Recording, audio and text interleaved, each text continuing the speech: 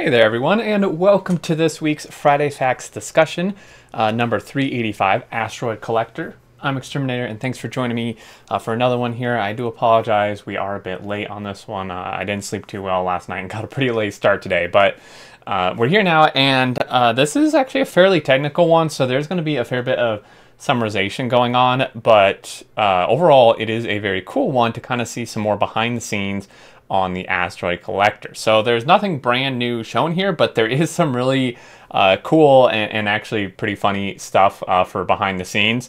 Uh, so we're just going to start in here. I'm going to pretty much just read this first part because I think it's just it's worth reading. So uh, this is by Earendel and uh, Harusa. Harusa. Um, hopefully, I'm pronouncing their name correctly. Uh, when I was working on the early space platform concepts, this is from Earendel, uh, trying to figure out how movable ships would look, uh, we knew that we wanted some way of getting parts of asteroids onto the ship, but hadn't decided how it would be done. Uh, basically, the very early stage of things were just placeholder graphics. Uh, essentially, they would just either mock something up with a drawing, or, or Earendel would just pull something uh, from one of their mods, from one of his mods. You know, he made space exploration, so uh, just pull something from that. And this is a look at the early graphics for this. So initially, it was basically just like a tractor beam is, is how this is set up to work here.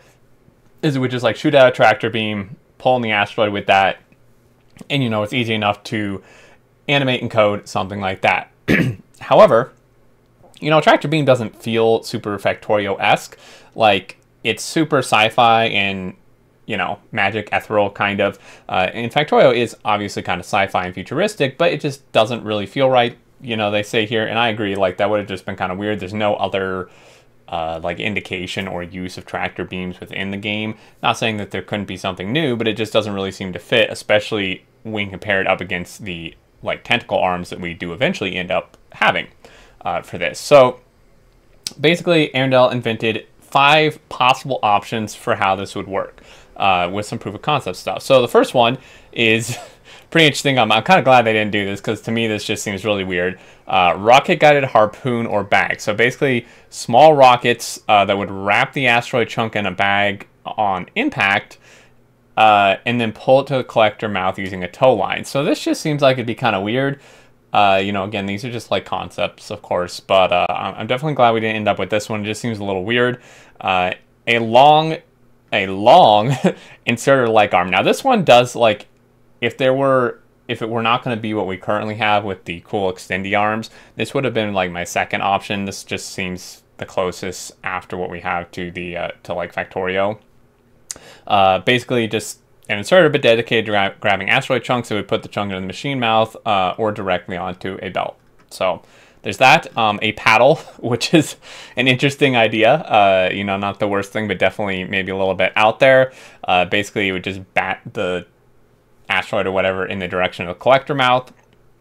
Uh, number four. Now, this one's really interesting uh, that they would have considered something like this. Uh, is the collector, where basically it would just be like a hole in the platform, and then it has these like you know almost like pinball or something. It has like these collect like these edges things can bounce off of into the mouth.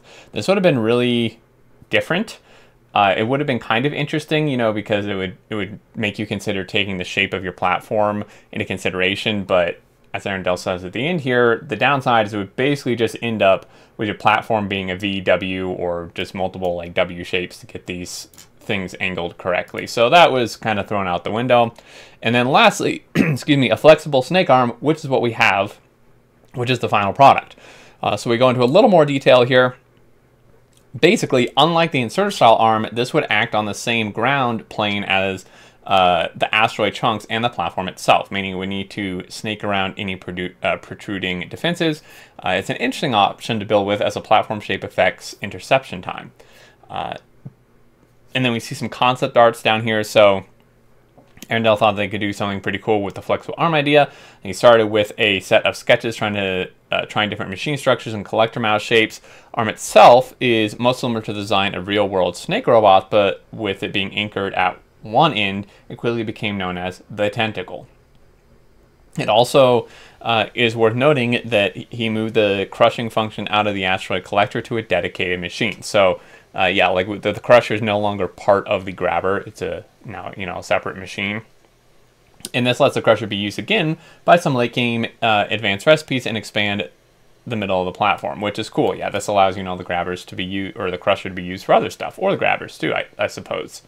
I really like seeing these concept arts of stuff. They've shown concept arts of other things in the past, like before the expansion, just you know in the general game development, and and I really love seeing these, like how things kind of progress and come along. It's always super interesting to me. Uh, so with behind the scenes stuff, this is one of my favorite parts, is just seeing, uh, you know, kind of their ideas and how it progressed and what it turned into.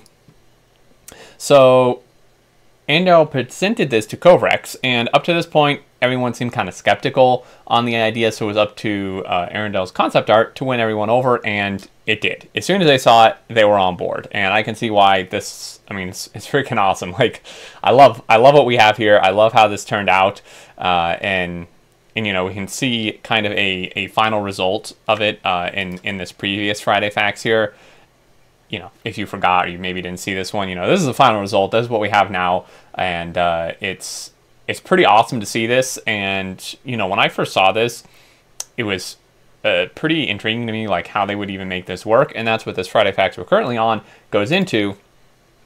Now, further down is how they actually made this work. So this is the more technical part. This is where I'm going to do a lot of summarization, and uh, just because it, it's just a lot of technical things to read through. So uh, basically, if they take a step back in time uh, and talk about how the gameplay side of things unfolded in the meantime. So a keystone feature of the platform production cycle is the collector started its life under uh, Earendel's hands. is now written by Harusa.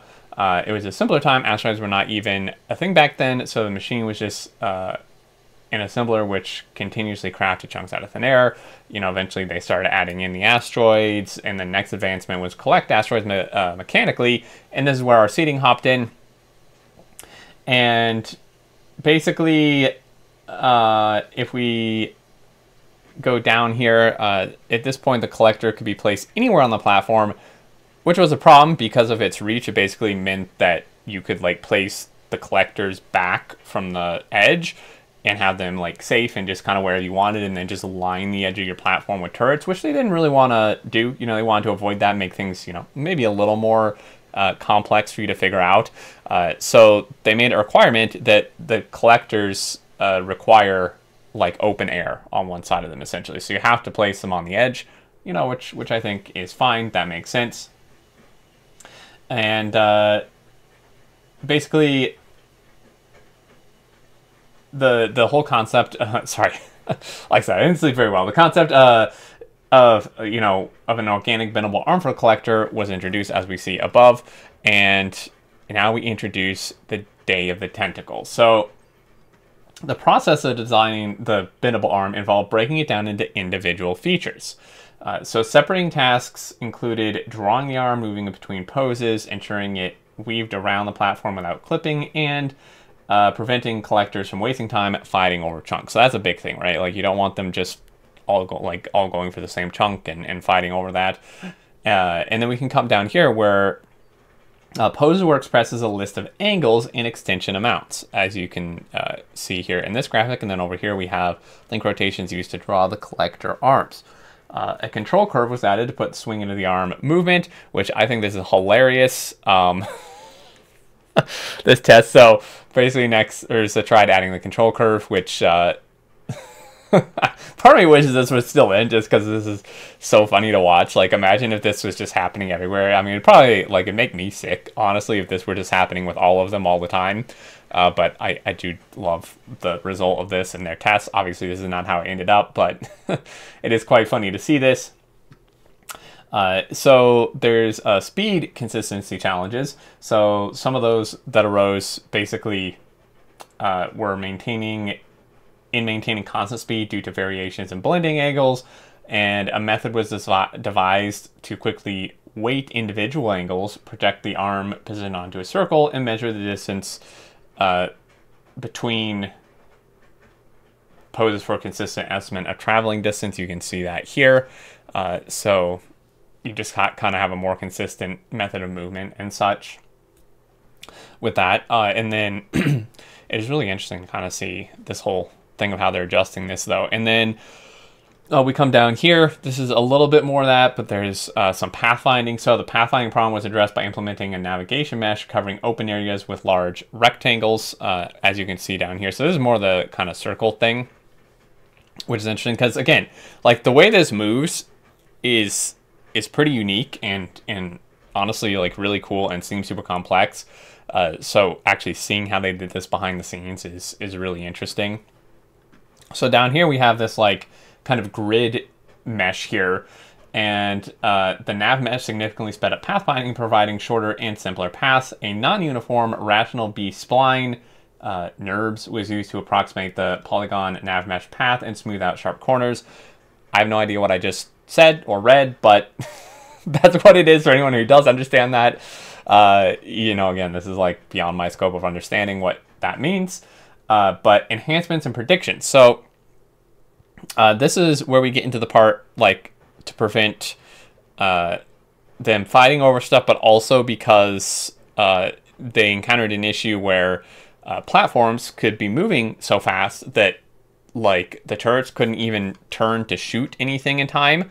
Uh, and then, which meant the grabbers would have a problem of not being able to grab stuff in time. So, uh, they just say, you know, several enhancements were made, including a minimal retraction distance, uh, horizontal wind-up landing, and random wiggling of arms, leading swings with the base. Uh, predictive features were added to anticipate incoming chunks, considering platform speed and arm availability. So basically, uh, the chunks send out. Can, you see here, uh, like, uh, like a you know a path basically. Uh, you can see that they couldn't just constantly test every chunk, so it's necessary to narrow down a selection. Um, basically, every time a new chunk spawns, it will cast a line forward and register with all collectors along the way, so then the collectors can like assign, be assigned which thing grabs what, and they're not fighting over stuff, and then the speed doesn't really matter that much uh, because they would be registered in advance, right? So uh, you can see here, it can it's going pretty dang fast, and it, it's not really an issue uh, for the arms, or even really, I don't think, for the turrets. Uh, the arms, I think, are probably more important, although you need the turrets to shoot the stuff anyway. So I guess they're both important. Uh, but yeah, so the conclusion to all this is basically once all the major work was wrapped up, it was just a matter of finishing off the smaller details. Uh, before the collector was ready to go into master branch, this is things like building restriction, blueprint support, copy paste, etc. Uh, since the nav mesh and NURBS system were uh, all new code, there was a lot of writing tests, chasing down edge cases, and fine tuning. Overall, in their playtesting, we're happy to say the Asteroid Collector works really well to give the platforms a unique looking gameplay that we were hoping for, which is absolutely true. It's they're awesome. They're like very eye catching and, and unique, you know, because concept wise, it's kind of like an inserter, but you know, it's a very different type of action. Eh, maybe not action, but definitely like animation, different type of animation. It just looks super cool. Like I, I can probably see myself just sitting here with a screen open, something like this, without the lines, and just watching them work. Uh, it's it's a really great uh, conclusion for for all their uh, tests and stuff they did. I really like where it ended up, and uh, it's it's super awesome again to see the behind the scenes stuff. So there we go. Like you know, I know there's a lot of summarization. If you are super into this technical uh, stuff and you understand more of this than I do, then definitely worth giving this a read. There will, as always, be a link in the description to this uh, Friday Facts. Uh, for me, you know, I didn't want to just like read all of it verbatim just because I really don't understand a lot of it, and uh, it was just uh, kind of wordy. Uh, but obviously, it had to be to explain what's going on. Uh, but overall, I hope you guys did uh, enjoy this, and you know, it's again just super cool to see the behind the scenes stuff, how they do things, all the work that goes into stuff, and again, you know, we can see more and more why the expansions may be taking so long when you see how much work goes into things, you know, just like this, or, uh, you know, elevator rails and all this other stuff we've talked about where there's just so much work that goes into it behind the scenes. So uh, that's going to do it for this one. As always, I do like to hear your thoughts down below. You know, if if there's something I just completely got wrong, uh, let me know. Uh, just generally, I'd like to hear your your thoughts on this. And uh, and yeah, I I'd also really just generally be curious, like out of the concept five options that were presented by Earendel, uh, which is your favorite? Like, is your favorite what we ended up with? Would you have preferred one of these other options? Again, for me, what we ended up with is my favorite for sure. The second one would be this long inserter. Probably after that would be the paddle. This one just seems really weird. I, you know, I can see they're just throwing ideas out there for sure, but uh, I'm very happy with where we are. So, as always, thank you so much for watching. If you did enjoy, found interesting, a like is appreciated. If you're new, uh, welcome. Feel free to uh, subscribe to keep up with future content. And until next time, I look forward to seeing you all, and do take care.